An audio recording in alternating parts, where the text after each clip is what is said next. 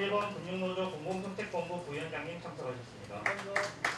코로나19 팬데믹 기간 동안 2% 초반의 낮은 임금 인상률을 감내하며 소상공인과 중소기업 등 취약계층 지원을 위해서 헌신한 금융노동자들에게 올해 5, 6%가 넘는 물가 상승률에도 불구하고 1%대 임금 인상률을 고집해서 어, 노동자들의 실질 임금을 삭감하겠다는 금융 사용자에 대한 분노 그리고 임금 인상 자제 발언으로 노사 자치, 자치주의를 위반함으로써 삼질 교섭을 어렵게 만든 정부에 대한 조합원들의 불만의 표시라고 생각을 합니다.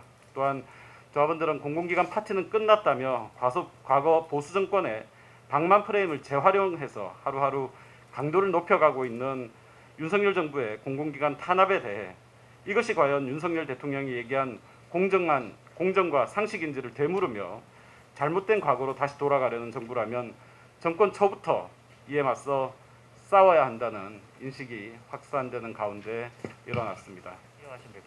네, 총파업 내용이 좀 궁금해서 질의드리고요. 어떤 식으로 진행되는지 그리고 은행 영업에는 어떤 영향이 있을 거라고 예상하시는지 네.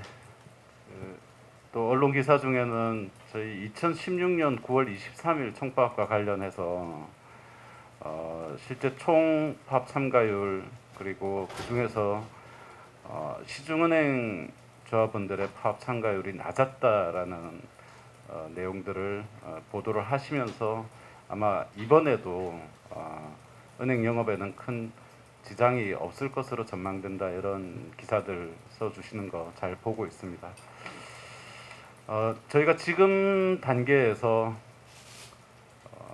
어, 파업 규모가 얼마에 이를 것 같다 또 은행 영업에 얼마나 큰 지장이 있을 것 같다 이런 부분을 예측해서 말씀드리는 것은 조금 어렵습니다.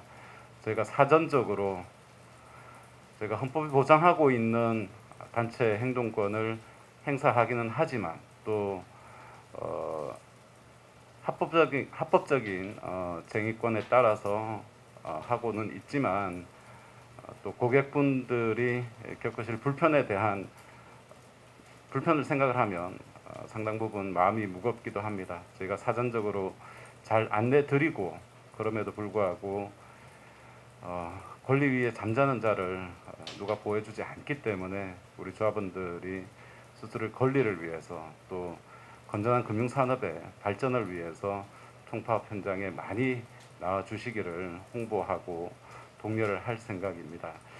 저희가 총파업 당일의 계획은 어, 9월 16일 10시에 어, 광화문 어, 사거리 어, 일대에서 파업 대우를 형성을 하고 거기서 파업 집회를 한 이후에 어, 어, 삼각 지역 방면으로 어, 행진을 하고 그렇게 한 어, 3시간여 정도의 어, 집회 행, 행진 등으로 프로그램을 어, 구성을 하는 것을 준비를 하고 있습니다.